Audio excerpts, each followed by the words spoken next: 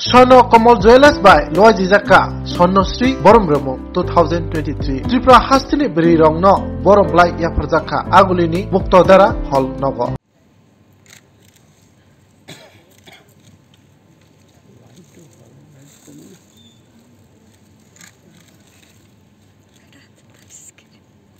মহারাজ, একটু ধরবেন হ্যাঁ আমাদের দিক।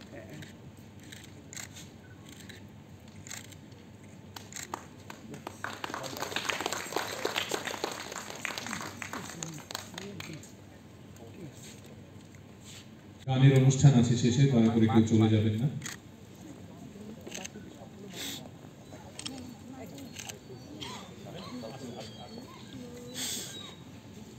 স্যার আপনি এদিকে চলে যান। একটু পেছনে গেলে ওকে দেখা যাবে না।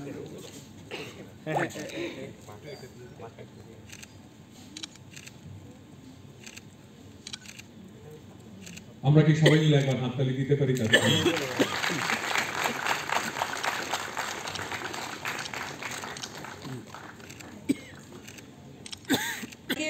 শুভেচ্ছা এবং অভিনন্দন জানাব। বিশেষ করে আমি স্বর্ণকমল জুয়েলার্সকে এই ধরনের একটি শুভ উদ্যোগকে, এই যে এত একটা শুভ প্রয়াস তারা নিয়েছেন, আন্তরিকভাবে যে উদ্যোগ নিয়েছেন এবং করেছেন, তার জন্য তাদেরকে ভীষণ, ভীষণভাবে আমি প্রশংসা জানাচ্ছি, ধন্যবাদ জানাচ্ছি। সামিল করতে পেরে ভীষণ আনন্দিত। যারা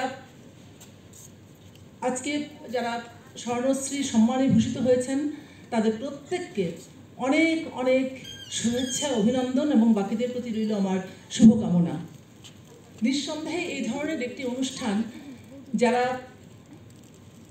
পুরস্কৃত হননি, অথচ উপস্থিত আছেন, তাদেরকেও কিন্তু জীবনে চলার পথে অনেক বেশি করে ইন্সপায়ার করবে, অনুপ্রেরণা যোগাবে।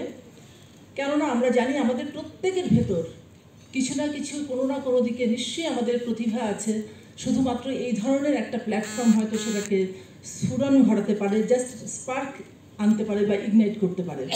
কাজেই এই ধরনের অনুষ্ঠানের গুরুত্ব অপরিসীম আমাদের এই সমাজে। আমাদের রাজ্যের যারা মহিলারা এখানে উপস্থিত আছেন, তারা বিভিন্ন ক্ষেত্রে প্রতিভার স্বাক্ষর রেখে গেছেন, সেটা নতুন কিছু নয়। কিন্তু তাদের বিভিন্নভাবে তারা যে পরিশ্রম, তারা যে যোদ্ধা, সেটা বারবার আমাদের যিনি এখানে সঞ্চালনা করছিলেন ওনার কণ্ঠে বারবার উঠে এসছে। সেটা ঠিক যে আমাদের, আমরা যে দেশে বাস করি, নারীদের প্রতি সম্মান জানাব, সে তো আমাদের আমাদের একটা ঐতিহ্য, আমাদের পরম্পরা। আমরা ভারতবর্ষের নাগরিক, আমাদের এই দেশে আমাদের বিভিন্ন জাতি, বিভিন্ন ভাষা, বিভিন্ন সংস্কৃতি, সে বৈচিত্র্যের মধ্যে ঐক্য, বিভিন্ন সংস্কৃতির সমন্বয়ের মধ্যেও আমাদের একটি শক্তিশালী একটি কৃষ্টি সাংস্কৃতিক চর্চা, সংস্কৃতি বিদ্যমান। তারই অঙ্গ হিসেবে নারীকে সম্মান জানাব, নারীর প্রতি আমাদের মর্যাদা থাকবে সেটাই স্বাভাবিক। আমরা দেখেছি আমাদের বৈদিক যুগ থেকে আমাদের নারীদের প্রতি আমাদের সেই সম্মান ছিল, পুরুষদের সমকক্ষ ছিল। বর্তমানে আমাদের নারীরা অনেক অনেক বেশি স্ট্রাগল করে তারা তাদের জায়গায় স্থান করে নিয়েছে।